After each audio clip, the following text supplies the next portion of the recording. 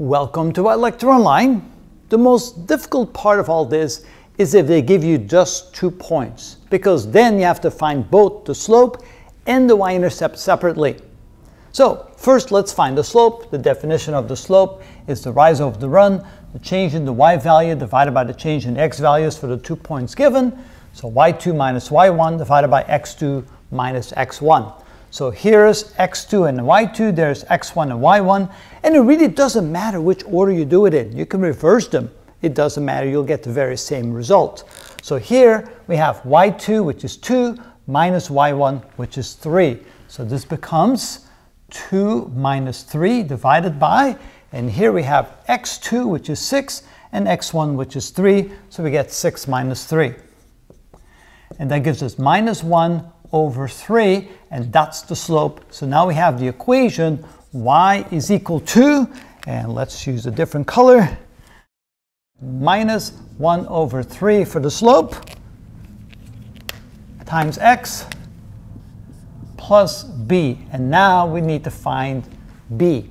Now we find the intercept. And how that's done, we use one of the two points. So let's use a point that has the smallest numbers. 3 and 3, but again, it doesn't matter which point we use. So now we're going to plug that in for y and x. So we end up with y is equal to minus 1 third x plus b. Instead of y and x, we're going to plug in the x and y value of one of the two points. So we end up with 3 is equal to, oh, and that would be minus 1 third. Can't forget the minus. Minus 1 third times the value for x, which is 3 and plus b.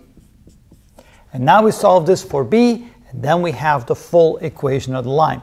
So minus third times 3 is minus 1, so we have 3 equals minus 1 plus b. Move the negative 1 across, we get 3 plus 1 equals b, or b is equal to 4. And so that then goes back in to our equation right there. And if we then plug that in, let's come around here and let's write the final result of the equation. So we end up with y is equal to minus 1 third x, and then b is equal to 4, so plus 4. And there we go. That's how we find the equation of a line if we're given just the two points. And that is how it's done.